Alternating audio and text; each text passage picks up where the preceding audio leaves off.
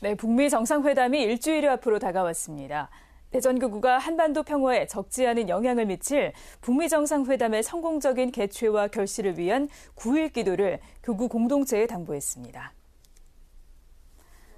대전교구는 최근 각 본당에 보낸 공문을 통해 3일부터 오는 11일까지 9일 동안 매 미사 전후에 민족의 화해와 일치를 위한 기도를 함께 봉헌해달라고 권고했습니다.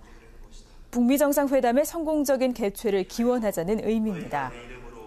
교구는 9일 기도가 끝나는 날이자 회담 전날인 6월 11일 북미 정상회담을 통해 한반도의 분단을 종식하고 평화 체제로 갈 수 있도록 주님의 특별한 은총을 청하는 특별 지향 미사를 봉헌해 달라고 당부했습니다.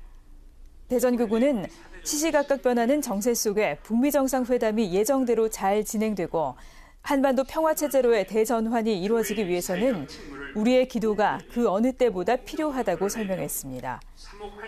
한편 대전교구는 오는 6월 25일 민족의 화해와 일치를 위한 기도의 날을 맞아 24일 주일에는 교중미사 한 대를 민족의 화해와 일치를 위한 미사로 봉헌하고 25일에는 교구장 유흥식 주교 주례로 한반도 평화를 기원하는 미사를 봉헌합니다.